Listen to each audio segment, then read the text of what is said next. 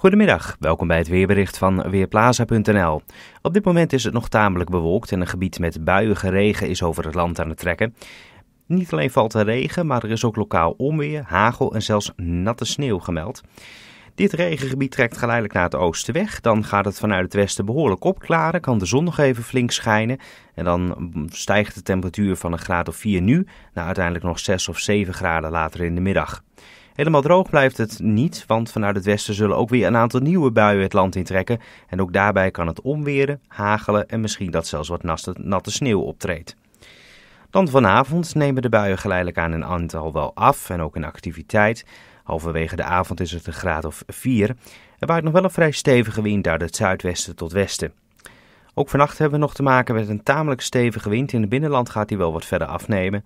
Het koelt af naar 5 tot lokaal 1 graad boven nul en aan de grond kan het licht vriezen met ook kans op gladheid door bevriezing. Op de meeste plaatsen blijft het droog, in het noordelijk kustgebied misschien nog wel een enkel buitje.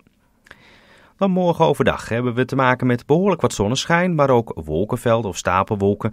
En er gaan ook weer een aantal buien over het land trekken. Ze zijn wel minder talrijk dan vandaag. Toch kunnen de buien ook gepaard nog gaan met hagel of onweer. Dus het is nog wel redelijk guur weer. Het wordt 7 of 8 graden bij een vrij stevige wind uit westelijke richtingen. In de namiddag en de avond gaat de wind afnemen en draait dan naar het noordwesten.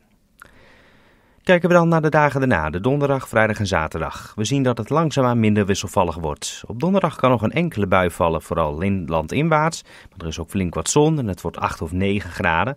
Nog wel een vrij stevige noordwestenwind. Vrijdag gaat de wind langzaam draaien in het westen en later naar het zuidwesten.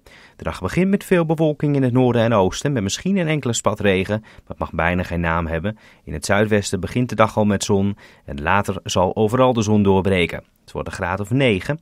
Op zaterdag blijft het overal droog en schijnt de zon flink en dan wordt het 10 of 12 graden. En de temperatuurstijging zet ook daarna door. Op de zondag kan het zomaar eens lokaal 15 graden worden. Na het weekend doet de temperatuur misschien een klein stapje terug, maar zit veelal nog wel in de dubbele cijfers. En daarbij blijft het droog met flink wat zon. Ik ben Ben Langkamp van Weerplaza.nl